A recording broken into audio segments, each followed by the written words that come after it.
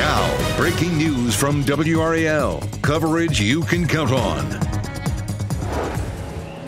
All flights from several major airlines are grounded right now. We'll show you the situation here on a busy morning at RDU. And we, of course, had some showers and storms yesterday evening. We're quiet right now, but more rain and storms on the way. We're going to time it out on Futurecast coming up. On the final night of the Republican National Convention, former President Donald Trump talked about his attempted assassination publicly for the first time. I stand before you in this arena only by the grace of Almighty God. We have highlights from his speech, which was the longest ever at a convention. And this morning, speculation on whether President Biden will drop out of the 2024 presidential race is growing. We'll break down what that could mean as Nancy Pelosi plans to join Governor Roy Cooper in Raleigh tomorrow. And that is noteworthy because if Biden decides to step aside, there is speculation that there could be a Harris Cooper ticket. Well, good morning, everyone. It is 4:30. You've got Chu Hogan ticket. Right now, I'm Renee Chu. I'm Jeff Hogan. Or Hogan yeah. Chu. We have that e- either way. It's found me alphabetically. Chu Hogan. It all sounds good, and we're just glad that you're with us here. We got some soaking rain yesterday that was we sure much did. needed, right? Mm-hmm. Anthony Baglione over in the WRAL Severe Weather Center right now. Some clouds hanging over North Hills. Yeah, it was a busy evening for us, and then yeah, we have that low cloud cover out there right now. This is our North Hills camera, and you can see it's definitely obstructing some of that visibility right there this morning. I don't anticipate big issues over the next couple of hours as far as fog or anything like that. However, we could still see those visibilities down at the moment. They're at about five miles out in front of you in Raleigh and Durham, seven in Clinton. That may be a factor as you're out and about driving this morning, so just keep that in mind. Temperatures are about where we were yesterday. We're in the mid 70s. It feels just a touch better, but we're going to still hang on to some humidity as we go through today.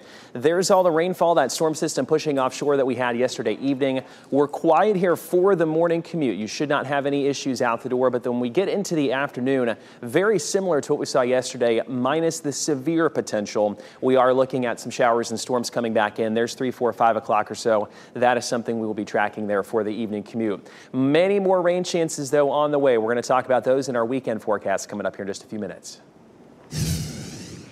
Breaking news if you have a flight today, you may have trouble getting to your destination. A widespread technology outage has grounded flights around the world this morning. Other businesses like banks and media groups are also having issues. WRAL's Monica Casey, Casey joins us live from RDU. And Monica, this is certainly going to be frustrating for travelers. Yeah, Renee, it definitely is. What we know right now from the FAA is that flights from several major airlines, including United, American, and Delta, are grounded regardless of their destination. Take a look at the size of this line here behind me. This is just for Delta customers to give you an idea of how busy it is here at RDU this morning. The departures board over here above this baggage line is also showing many flights delayed. We see ones to Atlanta. Austin, Boston, Charlotte, Chicago, all of these flights showing up as delayed right now here at RDU. It is a busy morning, a Friday in the summer, a lot of people traveling. We are expecting some kind of update from the FAA coming up at 5 a.m. At RDU, Monica Casey, WRAL News. It was a wild weather day in the Triangle yesterday. We could experience some more of that tonight. In downtown Raleigh, first responders performed a water rescue right near Union Station. A woman's car stalled out in those high flood waters there. A few blocks over, water flooded Hargett Street. In Durham, storms toppled this tree behind this medical plaza on Hillendale Road and another on Holder Road. Then in Garner, a rainbow appeared as the storms came to an end.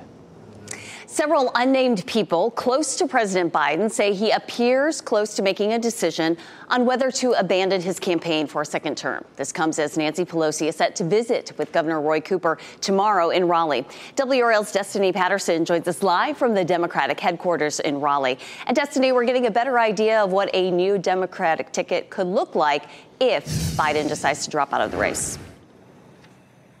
Well, all eyes are on North Carolina at this point. Of course, Vice President Kamala Harris was just in North Carolina yesterday, and now we have Nancy Pelosi coming to town tomorrow.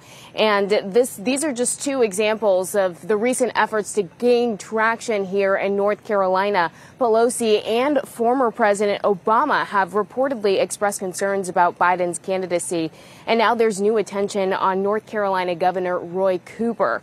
Two people close to the Biden Harris campaign told the New York Times that Cooper could be a viable option as vice president. In their efforts to win over North Carolina, a former chair of the Democratic National Committee told CNN he would favor a Harris Cooper ticket. A political science professor says he believes there's a sense that Cooper could help rescue North Carolina for Democrats. Cooper makes a lot of sense on paper. Um, he was an attorney general at the same time Kamala Harris is attorney general. They know each other. As you just said, she at least says publicly that she likes Roy Cooper. Um, he's not a controversial figure in any way. It would have relatively little impact. Uh, the last time uh, a North Carolinian was vice president, I think North Carolina went a Republican by about 12 points or so. And I would take great uh, delight in helping ensure a similar outcome this year. Cooper previously said he hadn't had any conversations about taking on that role and that he didn't need that kind of speculation. Vice President Harris has continued to show support for Biden. At this point, the Democratic National Committee plans to move forward with its virtual roll call to nominate Joe Biden. Destiny Patterson, WRAL News, Raleigh. Former President Donald Trump is now officially the Republican nominee for president again. He accepted the nomination in a 93 minute speech last night to close out the Republican National Convention. In his speech, Trump highlighted the deep policy differences between himself and President Joe Biden. That includes on issues ranging from immigration to energy policy to economy. He also recounted the moments immediately after the assassination attempt on him at a rally over the weekend in Pennsylvania. I raised my right arm, looked at the thousands and thousands of people that were breathlessly waiting, and started shouting, Fight, fight, fight. Some of the people in attendance at the convention wore bandages on their ears, similar to the one Trump has worn since the shooting. In his speech, Trump said he is calling for unity, saying he's running to be president for the whole country, not half of it. Coming up in 10 minutes, Trump's emotional tribute to Corey Comperatore, the man who was shot and killed at Saturday's rally in Pennsylvania. Former First Lady Melania Trump showed up for the final night of the RNC. This is Melania's first public appearance alongside her husband in a long time. Trump thanked Melania during his speech, saying he was deeply honored to be joined by his wife. Melania later joined Donald Trump on stage along with the rest of the Trump family. Two people are out of their home after this huge fire destroyed it. This happened on Last Wade Drive near Pinehurst just before 8:30 last night. Fire officials say one of the homeowners walked outside and saw the garage fully engulfed. Both people who lived there were able to get out safely along with the pet dog before the fire spread to the living area. Investigators are working to learn what caused that fire. We're expecting to learn more today about NC State Chancellor Randy Woodson's decision to retire at the end of the upcoming school year. He made the announcement yesterday. Over his more than 14 years as chancellor, Woodson had a lot of success elevating NC State on a national stage. But the closure of Poe Hall and the fallout since has changed the way some view his legacy. Woodson's contract expires on June 30th, 2025, which is when he's expected to retire. Wilson County Church there is a total loss this morning after a massive fire. Neighbors say lightning hit the steeple of Spring Hill Presbyterian Church in Lucama and it sparked a fire that caused the roof to collapse. Here's firefighters had to break out stained glass windows to get into that building. It took eight different departments over an hour to get the fire under control. Members of the church tried to salvage as much as they could. They talked about how big this loss is for their community. It's just overwhelming. It's such a loss for all of the church family. We've had weddings and funerals and births and deaths. It, it, you know, we just love to attend, and it's real. It's a huge loss for all of us. No one was hurt in that fire. Today marks one year since a destructive EF3 tornado hit Nash County. The tornado touched down on July 19, 2023, around 12:30 p.m. in the Battleboro and Dorchester communities. An estimated 90 homes and buildings were damaged or destroyed, including the Pfizer plant in Rocky Mount. This tornado happened very quickly. It was the first EF3 tornado to ever hit central North Carolina in the month of July. New videos show the terrifying moments a crane fell into a bridge in Florida last April. We'll show you the moments jump, people jumped into action to get folks to safety there. A college professor is heading to the Paris Olympics. How he plans to use his skateboarding skills to help heal social problems. And we give you this live look in Clinton this morning. We are expecting some storms this afternoon. Meteorologist Anthony Baglione will be along after the break. He'll give us that weekend forecast we're looking forward to.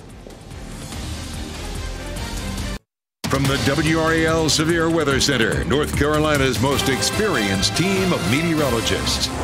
It is just about 443 here on this Friday morning, where of course yesterday it was really busy for us. Yesterday evening especially, we had numerous flash flood warnings that came out, severe thunderstorm warnings. Where we sit right now, though, you can kind of see the leftover of that system. Most of that rainfall, that storm activity is pushing toward the coast. So unfortunately, if you're planning a beach trip today, this afternoon, it doesn't look like it's going to be the best weather. We take Futurecast ahead, though. The morning commute is looking just fine. There could be some low cloud cover that may make it feel a little bit almost almost foggy or kind of that misty feel out there this morning. Here's lunchtime, though, in this afternoon. We're not expecting severe weather, but we could see another chance for some showers and storms coming through, starting probably as early as about 2 to 3 p.m. this afternoon. During a speech at the Republican National Convention, former President Donald Trump paid tribute to the man who was killed during the assassination attempt Saturday. He asked for a moment of silence for Corey Comperatore, Comperatore's firefighting gear was sent to the convention and was on display during Trump's speech. Trump walked over to it and kissed it on stage. There is no greater love than to lay down one's life for others. This is the spirit that forged America in her darkest hours. Comperatore will be laid to rest today in Pennsylvania during a private funeral. Saturday's shooting also critically injured two other spectators at the rally. Trump says they are recovering and will be okay. He says supporters have raised more than $6 million for the families of the people shot. New videos show the terrifying moments a crane fell from a building in Florida, a piece of it hitting cars below. This happened in Fort Lauderdale back in April. And you can see a chunk of the crane hitting two cars, landing right on top of one of them.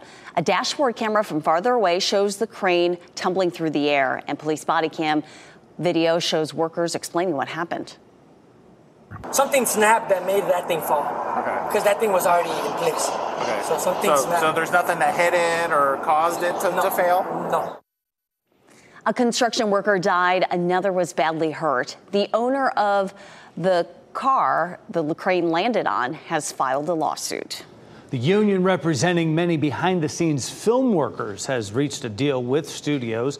Members of the International Alliance of Theatrical Stage Employees voted to ratify a three year contract. The deal raises wages 7% the first year and then 4% and 3.5% the following years. That's the same structure agreed to by SAG AFTRA members last year in that union's high profile strike. The contract also contains protections against artificial intelligence. As of this week, over 3 million acres have burned in the U.S. by wildfires this year. And with extreme heat continuing in some parts of the country, there is a high risk for more large wildfires to spark. National Interagency Fire Center has increased its preparedness to its highest level. This green light's a larger scale operation for wildfire control like hotshot crews, air tankers, smoke jumpers, and communications equipment. Cumberland County is hosting a job fair today to connect you to different careers. The county's more than two dozen departments will be on hand to answer questions and take applications for a variety of positions.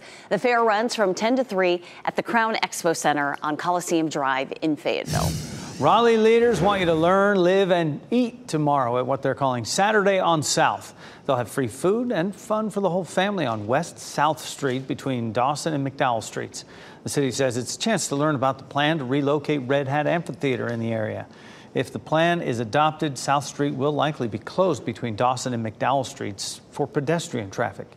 A university professor is heading to the Olympics in Paris, not as an athlete, but as an ambassador.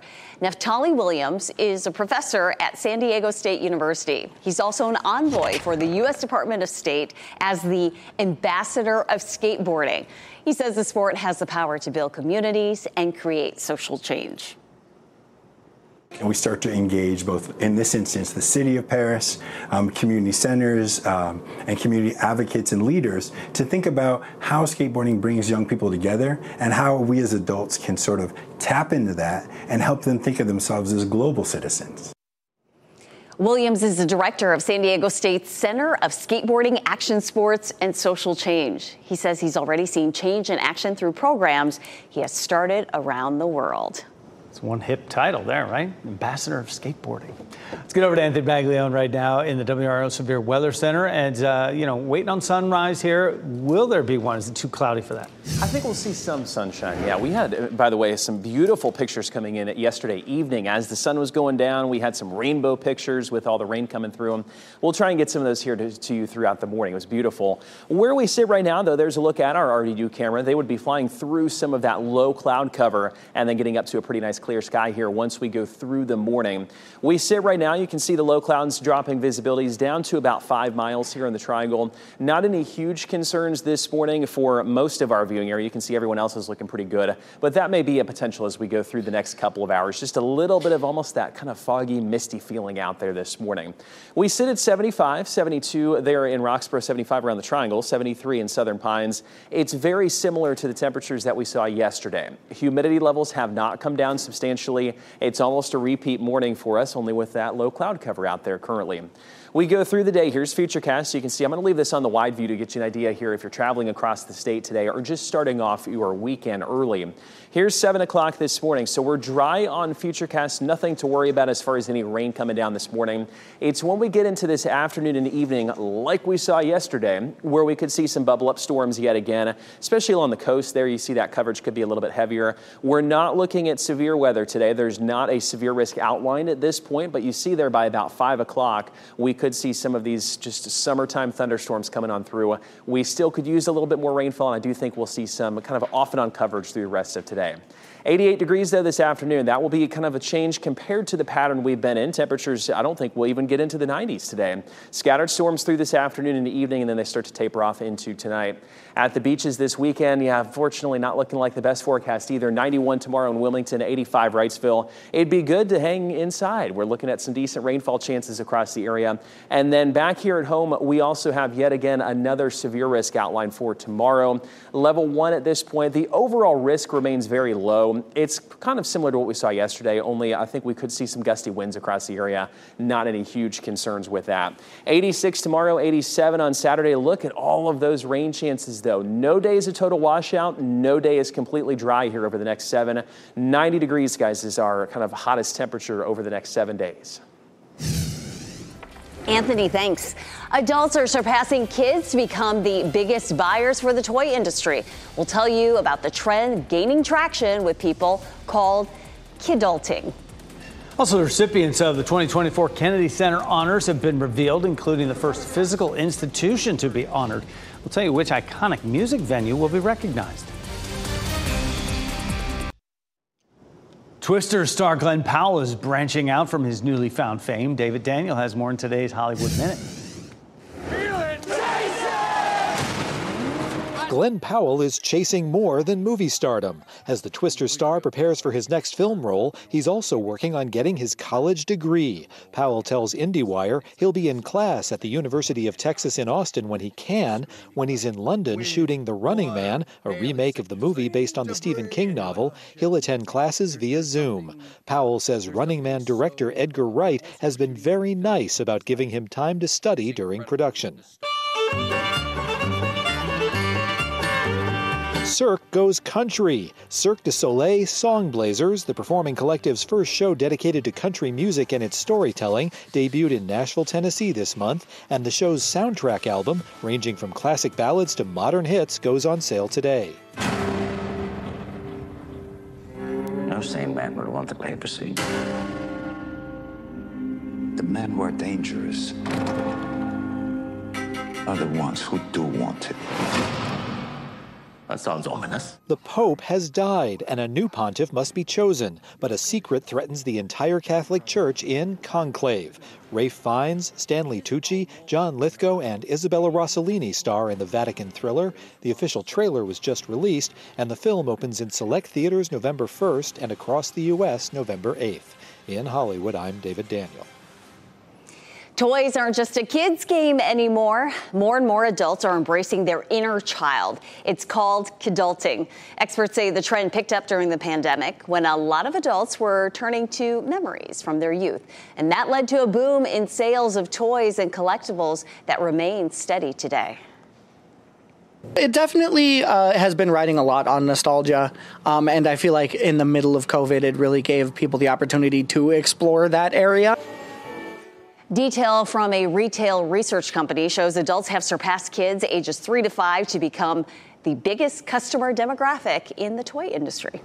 This year's Kennedy Center Honors recipients have been announced, and they are Oscar winning filmmaker Francis Ford Coppola, singer Bonnie Raitt, the Grateful Dead, Cuban American jazz trumpeter Arturo Sandoval. And for the first time ever, a physical institution is being honored Harlem's Apollo Theater. It is celebrating its 90th anniversary.